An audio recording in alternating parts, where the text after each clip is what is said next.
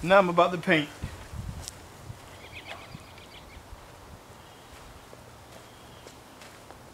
Find me old paintbrush. I'm ready to go. Back pocket.